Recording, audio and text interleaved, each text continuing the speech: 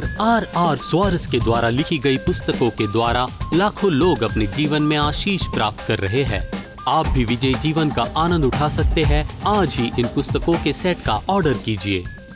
हमारा पता है Grace of God post box number दो शून्य आठ नौ, head post office cantonment. Varanasi, दो दो एक शून्य शून्य दो। प्रार्थना निवेदन के लिए संपर्क करें नौ तीन आठ नौ आठ नौ आठ नौ शून्य शून्य पर। सोमवार से शुक्रवार प्रातः छह बजे से शाम छह बजे तक। प्रार्थना निवेदन के लिए संपर्क करें Faith Show India at Yahoo dot com पर। आइए प्रभु यीशु के लिए जोरदार तालियाँ हो जाए। प्रिय मित्रों, हम मौके का फ़ायदा उठाएँ जो परमेश्वर हमें दे रहा है, ताकि हम मनन कर सके उस पर जो यीशु हमें सिखा रहा है। और फिर तेजस्व होकर और आश्वासन के साथ हम आशीष पर अधिकार कर सकते हैं। आज परमेश्वर के बढ़ने का दिन है। जब भी हम यीशु के नाम में जमा होते हैं, वो हमारे साथ होता है। और बाइबल कहती कि वो वही है तो वो बदलता नहीं है। यीशु थकता नहीं है। यीशु हमसे कभी नाराज़ नहीं होता है। यद्यपि हम पाप में हैं, वो हमारे लिए अफसोस करता है, वो तरस खाता है और हम पर कृपा करता है, वो दया महसूस करता है क्योंकि हम गलत निर्णय ले रहे हैं। जो गलतियों के रास्ते पर चलता है, वो सफल नहीं होंगे। जो शैतान के हाथ में हाथ दिए हुए आगे बढ़ने की कोशिश करते हैं, वो कभी सफल नहीं हो सकते। वो पाताल में गिर जाएँगे। पर यीशु अपने लोगों को प्रोत्साहन देता है और आग्रह करता है क्योंकि वो असल में सच्चा मित्र है। एक खराब मित्र आपको छोड़ देगा जब कुछ बुरा होता है। एक अच्छा मित्र साथ में खड़ा होता है और आपको सही रास्ता दिखाता है और आपको सही मौका भी देता है। भले ही आप उसे कठिन समय दे रहे हैं, क्योंकि आप गलत में हैं और वो जिनकी मदद की जा रही है और जिनके हृदय अच्छे हैं अंततः जाग जाते हैं और अपने रास्ते को सुधारने का निर्णय लेते हैं यीशु के नाम में। सभा शुरू होने से पहले मैं मत्ती तेईस के बारे में बात कर रहा था, जहाँ यीशु शास्त्रियों और फरिसियों के विरुद्ध बात करता, वो अंधे अगुए, जो परमेश्वर के वचन के बारे में कुछ नहीं जानते थे, और वो प्रभु परमेश्वर के मकसद को मरोड़ रहे थे, जो उसने आज्ञाओं के रूप में दिया कि हम कुछ चीज़ें न करें, ताकि हम बदले में दूसरी चीज़ें कर सके। यीशु ने तब समझाया हमें कि अंधे फरिसियों ने मच्छरों को जाने दिया, पर ऊँट को निगल गए। उन्होंने कटोरे को ऊपर से साफ़ तो कर दिया, पर अंदर वो गंदा है और अंदर है जो तात्पर्य रखता है। मेरा मतलब जो तात्पर्य रखता है, हमारा अंदरूनी, हमारी आत्मा असल में साफ़ है। नहीं तो हम में से कोई भी जीवन का पानी नहीं पिएगा। प्रभु परमेश्वर भी हमारी महिमा प्राप्त नहीं करेगा। ज़रूरी है कि हम अंदर देखें, वचन को पहले मुझसे बात करना चाहिए, ताकि मैं वो आपको बता सकूँ, तब उसे आपसे बात करनी चाहिए, ताकि आप किसी और को बता सके। हमें वर्तमान समय का फ़ायदा उठाना चाहिए और हमें कभी पीछे नहीं हटना चाहिए, चाहे जो कुछ हमारे साथ हो, क्योंकि कुछ लोग हैं जो खोना चाहते हैं। दुर्भाग्यवश, पर हम ज़ोर देते रहेंगे, दिखाने के लिए कि हम दोस्त हैं, जब तक उन्हें पता नहीं चलता कि वो गलत चल रहे थे। तो आइए आगे चलते हैं और देखते हैं मत्ती अध्याय तीस का छत्तीस में क्या लिखा है। मैं तुमसे सच कहता हूँ, ये सब बातें इस समय के लोगों पर आ पड़ेंगी।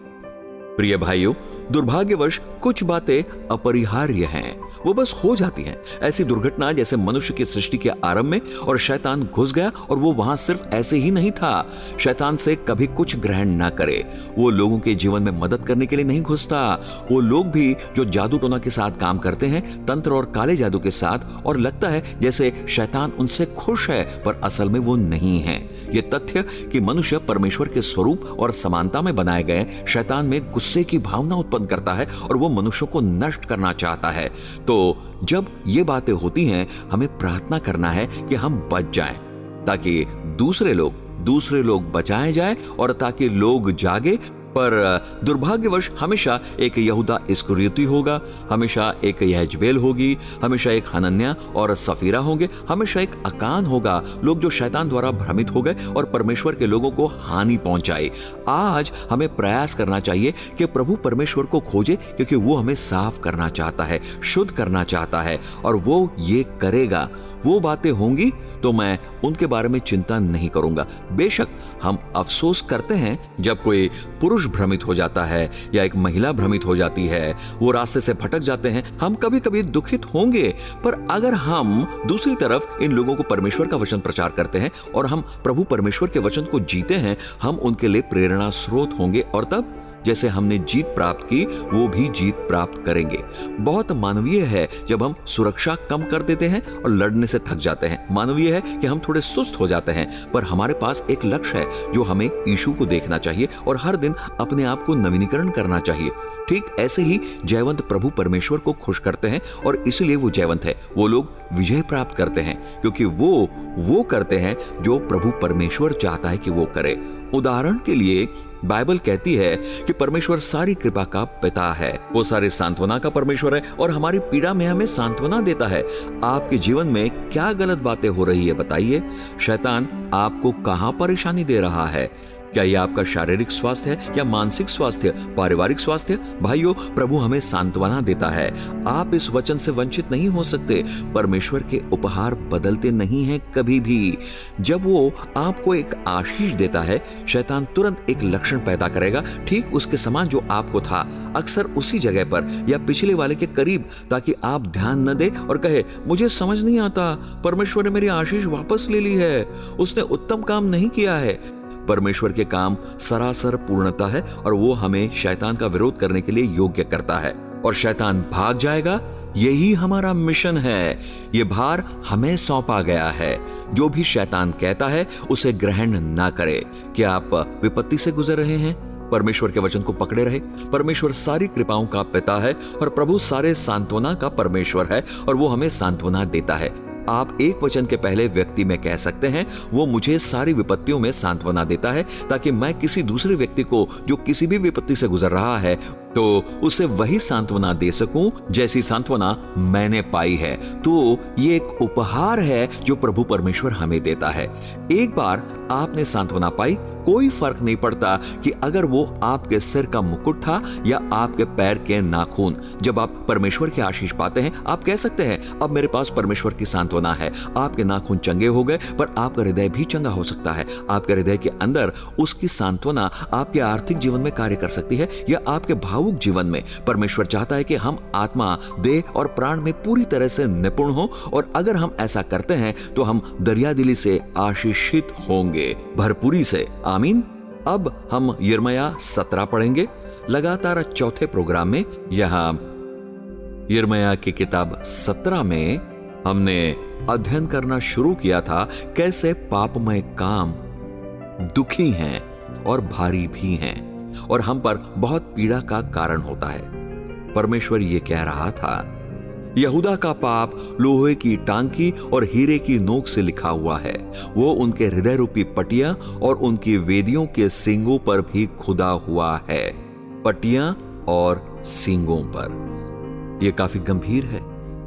वो जो पाप में है या वो जो परीक्षा में चल रहा है और पाप करेगा और अनंत पाप करेगा, उन्हें यह वचन जानने की आवश्यकता है। वो असल में उकसा रहे हैं, वो खुल रहे हैं, ताकि उनके पापमय काम लोहे की टांकी से लिखे गए हैं, हीरे की नोक से, जो बहुत कठिन है, ताकि वो उनके हृदय रूपी पटिया में गहरे रूप से खुदा हुआ है। मैं पराजित हूँ, मैं योग्य नहीं हूँ। अनंत काल की यातना के मुलजिम और दूसरे विशेषण जैसे बेवकूफ़ और वगैरह ये अदला बदली कर रहे हैं।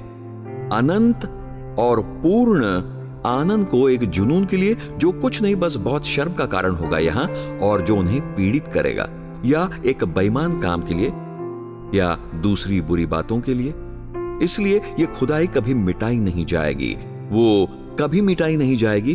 क्या कोई मिश्रण या कोई प्लास्टर नहीं है जो उसे ढक देगा? ना, कोई नहीं है। सिवाय ईशु के लहू के, एक गंभीर अंगीकार पर, एक समस्त और पूर्ण परिवर्तन पर, जिसके बाद पापी उनके पीछे जाता, जिन्हें उसने ठेस पहुंचाई और उनसे मेल मिलाप करता। क्योंकि अगर वो ऐसा नहीं करते, वो खुदाई वहाँ गढ़ी रहेगी हमेशा के लिए पापी के जीवन में। और उनके जीवन रूपी पटिया में भी और पापियों के वेदियों के सिंगों पर भी। परमेश्वर ने हमारे जीवन में कई वेदियाँ बनाई ताकि हम उसके आराधना करें। वेदी, विश्वास योग्यता की ईमानदारी की प्रेम की, आनंद की वेदी, आनंद की भी, आनंद की भी वेदी शांति की, सहनशीलता की, कृपा की, भलाई की, ये सारी वेदियाँ जिसके द्वारा वो हमारे जीवन में महिमाहित होना चाहता है। जब कोई विश्वास योग्य है, परमेश्वर उनकी विश्वास योग्यता में महिमामहित होता है। जब कोई पवित्र होता है, उसकी पवित्रता में जब वो ईमानदार होते हैं, ईमानदारी की वेदी पर पर पाप ये सब बातें खराब कर देता है। अगले पद में जो हमने देखा है, पर मैं फिर पढ़ रहा हूँ, इससे पहले हम एक नया विषय पढ़े। उनकी वेदियाँ और लकड़ी की देवियाँ जो हरे पेड़ों के पास और ऊँचे टिलों के ऊपर है, वो उनके लड़कों को भी स्मरण रहती है। लड़के यहाँ असल में वो नहीं जो हमसे आते हैं, पर अच्छी बातें जो हमने अपने जीवन में बनाई हैं। अच्छे मकसद, वो पवित्र अभिलाषाएँ। मैं अपना जीवन बेहतर करूँगा, मैं प्रभु को महिमा दूँगा, परमेश्वर मुझे समृद्ध करेगा, मेरे पास सौभाग्य होगा एक राज्य खरीदने का। और चर्च बनाने का ठीक वैसा जैसे उसे बनना चाहिए और मैं मंदिर को चर्च में दूँगा। मैं प्रायोजक बनूँगा और मैं अच्छी चीज़ें करूँगा। मैं जरूरतमंदों की मदद करूँगा और लड़कों अब देखो, वो याद करते, वो उनके लड़कों को भी स्मरण रहती हैं। उनकी भली अभिलाषाएँ और लकड़ियाँ जो प्रभु ने सुंदरता से बनाई। उनकी लकड़ी की देवियाँ हरे पेड़ों के पास और ऊँचे टीलों के ऊपर। वो याद करते हैं, पर उनके पास अब नहीं है, क्योंकि पाप सब कुछ नष्ट कर देता है, बल्कि पाप लोगों की सामर्थ्य हटा देता है। पाप सपनों को हटा देता है और लोगों को बिल्कुल पराजित कर देता है। तब परमेश्वर उसके बारे में विलाप करता है। पद नंबर तीन में उनके विषय में जो गिर जाते हैं, हे मेरे पर्वत, तू जो मैदान में है यह बहुत गंभीर है। इस तरह परमेश्वर मुझे और आपको देखता है। अवसरों के मैदान में परमेश्वर ने मुझे और आपको एक पर्वत के रूप में स्थापित किया है, जो बिल्कुल नहीं हिलता, जो वास्तव में वो करता है, जो प्रभु ने ठहराया है। पर जब हम पाप को आने देते हैं, वो खत्म हो जाता है। और तब परमेश्वर विलाप करता सोरस तुम एक पर्वत जैसे होगे। पीटर, तुम एक पर्वत जैसे होगे। मार्था, तुम मेरी पर्वत होगी। पर तुम अब नहीं हो। और अब परमेश्वर कहता है, तेरी संपत्ति। जो परमेश्वर के वचन में महान है। तेरे सारे भंडार, जो तूने विश्वास के कारण रखे हैं, मैं लुट जाने दूँगा। तुम्हें उन्हें देना होगा, कोई रास्ता नहीं है। शत्रु तुम्हें पराजित कर रहा है। परमेश्वर कह रहा है, वही रुक जा। और तेरे पूजा के ऊँचे स्थान, जो तेरे देश में पाए जाते हैं, सब कुछ जो हमारा है। जैसे दाऊद ने कहा सब कुछ जो मुझमें है, सब कुछ। एक बाल भी उसके सबसे छोटी कोशिका आत्मा का वो छोटा भाग, आत्मा का सबसे छोटा भाग, असल में बिल्कुल छोटा सा भाग। उसे प्रभु परमेश्वर को आदर और महिमा देना है और प्रभु परमेश्वर की आराधना करना है। आपके सारे देश और अगर आप अपनी आत्मा को भागों में बांटते हैं तो उसमें से शैतान को एक भी न दे। सब कुछ परमेश्वर को दे। सारी अच्छी चीज़ें उसे दे। आप अपने दिल में घृणा नहीं रख सकते। कोई मनमुटाव नहीं, नाराज़गी ना रखे या अशुद्ध अभिलाषाएँ। कोई अवसर ना पकड़े पाप करने के लिए। यह अवसर नहीं आने दे। परमेश्वर आपको यह अवसर नहीं देगा। निश्चित करें कि आप उसके लिए पूरी तरह से पवित्र हैं। तो भाइयों, परमेश्वर के पुरुष और महिला बने, क्योंकि अगर ये आपके किसी भी सीमा पर है, पाप आप पर भारी पड़ जाएगा। यह ऐसा है जैसे कि एक देश दूसरे देश पर आक्रमण करना चाहता है वो आपके देश के एक छोटे भाग पर आक्रमण करता है और फिर वहाँ अपने बैराकों को बनाता है और अपनी सेना वहाँ स्थापित करता है। उस गंदे देश को पवित्र देश पर जो आप पर है, आक्रमण करने न दे। अब पद क्रमांक चार में वो कहता है, तू अपने ही दोष के कारण अपने उस भाग का अधिकारी न रहने पाएगा जो मैंने तुझे दिया है। परमेश्वर ने सब मनुष्यों को एक भाग दिया है। जब उसने आदम को बनाया, उसने कहा, आदम, तुम आकाश के पक्षियों पर अधिकार रखो। बीज बोने वाले के दृष्टांत में यीशु ने कहा कि आकाश के पक्षियाँ शैतान है जो बीज खाते हैं। पुरुष के पास शैतानों के ऊपर अधिकार था कि उन्हें संसार में आने से और हमारी ज़िंदगी में आने से रोके। इस संसार में एक भी बुरी बात नहीं होती। अगर आदम ने इस वचन पर ध्यान दिया होता, क्योंकि जब शैतान ने हवा को प्रलोभित किया, उसे भरमाया, और उसने वो फल खाया, और उसने देखा, और उसने कहा, क्या हुआ? उसने कहना चाहिए था, मैं परमेश्वर से प्रार्थना करूँगी। वो आपके बारे में कुछ करेगा, पर मैं दखल नहीं दूँगी, मैं इसका भाग नहीं होऊँगा। परमेश्वर, इस स्त्री ने पाप किया है, मैंने नहीं किया। परमेश्वर दूसरी बना देता या कोई और निर्णय लेता। पर आदम आगे बढ़ा और उसने फल खाया। पर उसके पास अधिकार था। परमेश्वर ने उससे कहा था, आकाश के पक्षियों के ऊपर उसका अधिकार था। यीशु ने कहा, मैं तुम्हें अधिकार देता हूँ शैतान की सारी ताकतों पर। क्यों एक प्रलोभन आपके हृदय पर विजयी होगा? चाहे जो भी प्रलोभन हो यह सिर्फ़ शरीर की अभिलाषाएँ नहीं है मित्रों। ऐसा हो सकता है कि परमेश्वर का पुरुष बेईमान है। जब वो व्यापार कर रहा है, सही दाम लगाने के बजाय वो दोगुना दाम लगाता है। वो चोरी कर रहा है। हमारी सफलता परमेश्वर से आनी चाहिए, बेईमानी से नहीं। मैं याद करता हूँ, जब मैं बच्चा था, मैं जानता था कि तराजू है जिसके ऊपर एक बर्तन है, जिस पर लोग चीज़ें तोलते थे, दुकानदार तोलता था। दुकानदार खुद दो किलो चावल तोलता था, ग्राहक के लिए एक थैली में मेरे माता पिता मुझे सिखाते थे, ये देखने के लिए कि अगर दूसरे तराजू में सिक्का है, क्योंकि सिक्के के वज़न के अनुसार वो पूरे वज़न से करीब 200 ग्राम तक चोरी कर सकता था तो मैं हमेशा तराजू को देखता था। अब ये दुकानदार बेईमान क्यों है? क्यों दुकानदार जो आलू बेचता है, वो थैली के नीचे सड़े आलू रखता है? आप सुपरमार्केट में एक थैली भर संतरे ले और उसमें से दो या तीन सड़े होंगे। उन्होंने उन्हें क्यों नहीं फेंका भाइयों? एक सड़ा संतरा दूसरों को खराब करता है। कुछ लोग हमेशा दूसरों से चोरी करना चाहते हैं। एक बार मुझसे किसी ने कहा, मेरे बेटे, अपने दोस्त को अपने घर में मत ले आओ। देखिए यह व्यक्ति कैसे गुस्सा था? मैंने पूछा, क्यों? और उसने कहा, क्योंकि वो मेरी पत्नी को छेड़ेगा। वो एक बुज़ुर्ग पुरुष था। मेरी हाल ही में शादी हुई थी और उसने मुझसे वो कहा, पुरुष बेईमान होते हैं। अपने मित्र अपने घर के बाहर रखो। उन्हें जानने भी ना दो कि तुम कहाँ रहते हो। वो ऐसा कह रहा था क्योंकि वो उससे गुजरा था या उसने किसी को उससे गुजरते हुए देखा था। असल में पुरुष दुष्ट हो सकते हैं, आप मुस्कुराते हैं और लोग गलत अर्थ निकालते हैं और बुरे इरादे रखते हैं। वो ये नहीं देखते कि आप प्रभु की नज़र में शुद्ध हैं। ये सिर्फ़ पुरुषों की तरफ़ से, महिलाओं के लिए नहीं है, पर यह दूसरी तरफ़ से भी है। कभी ये एक अभिनंदन या प्रशंसा होती है, पर इसके पीछे कुछ होता है। और व्यापार जगत में लोग मित्रवत लगते हैं आपको बस के नीचे धक्का देने के लिए उचित दाम चुकाया जाना चाहिए। आप किसी को परेशान नहीं कर सकते, क्योंकि वो आपको समझदार नहीं लगते। हमें स्वस्थ मन का होना चाहिए और हमें ईमानदार भी होना चाहिए। हम पढ़े, वो क्या कहता है? तो अपने ही दोष के कारण अपने उस भाग का अधिकारी न रहने पाएगा। जब लोग पाप और बेईमान कामों और झूठों को रास्ता देते हैं, ये प्रभु के वचन में है, वो असल में छोड़ रहे हैं। वो जो परमेश्वर ने उनके लिए रखा है, परमेश्वर ने आदम को दिया। आदम ने फल खाया हवा ने फल खाया और उसने भी खाया, वो अनाज्ञाकारी था, ये वंचित था। वो वंचित था, पुरुष ने अपने आप को वंचित कर दिया था। परमेश्वर हम किसी के साथ भी अन्यायी नहीं है। अगर आप उसकी बात जोते हैं, उसके पवित्र वचन द्वारा, मैं धर्म का वर्णन नहीं कर रहा हूँ। धर्म को भूल जाइए, क्योंकि मैं इससे डरता हूँ। मैं प्रभु के वचन का इस्तेमाल करने वाला होना चाहूँगा। मैं वचन को पकड़े रहता हूँ। अगर आप परमेश्वर के वचन का अभ्यास करते हैं, आप देखेंगे कि परमेश्वर आपको पूरी पहुँच देगा। आपकी संपत्ति पर तू अपने ही दोष के कारण, अपने उस भाग का अधिकारी न रहने पाएगा जो मैंने तुझे दिया है। वो आपकी है। मैं नहीं जानता परमेश्वर मुझे देगा, पर जो मैं उसके वचन द्वारा सीखता हूँ, मैं खोजूँगा, क्योंकि मुझे वो चाहिए। अगर मुझे नहीं चाहिए होती तो वो मुझे नहीं देता। ठीक ऐसा जैसे आपके साथ होता है। पर आप कहते हैं, आपके पास कुछ नहीं है। मैं एक बेसहारे घर में पैदा हुआ। हमारे पास कुछ नहीं था। हम इतने गरीब थे, आपको कहानी बताऊँ तो आप रोने लगेंगे।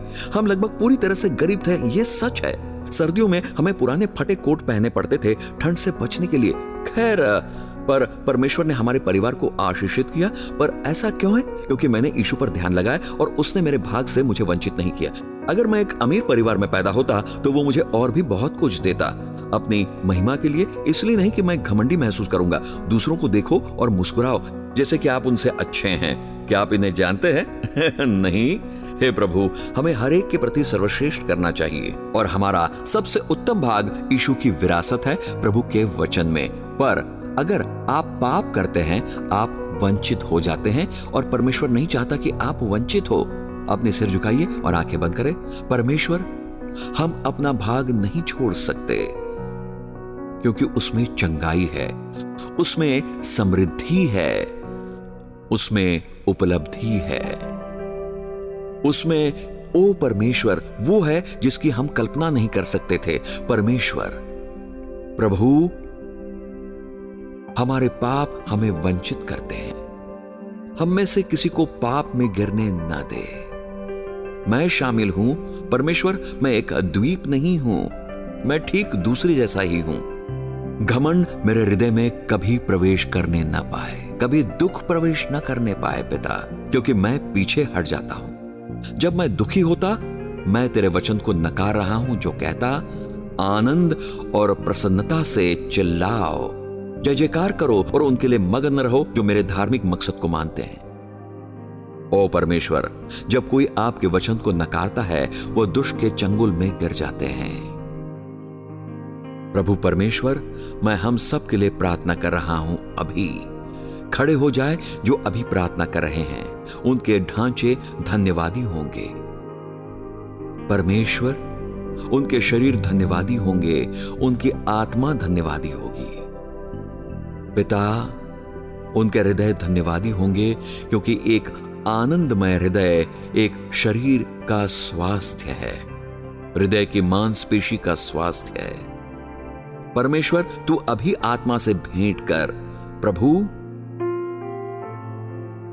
हमारे हृदय रूपी पटियों पर हमारे पाप लोहे की टांकी से लिखे गए थे। हीरे की नोक से, पर अब तेरा लहू हमें शुद्ध कर रहा है। हम अंगीकार कर रहे हैं, और अगर हमें किसी से क्षमा मांगनी है, हमारी अगुवाई करे क्षमा मांगने में। परमेश्वर, इसी क्षण हम तेरी कृपा के लिए दुहाई दे रहे हैं। धन्यवाद प्रभु, और आमीन। ओ परमेश्वर की महिमा, आमीन भाइयों, हमारा परमेश्वर महान है। आइए देखते हैं आज का रियल लाइफ ड्रामा सेगमेंट।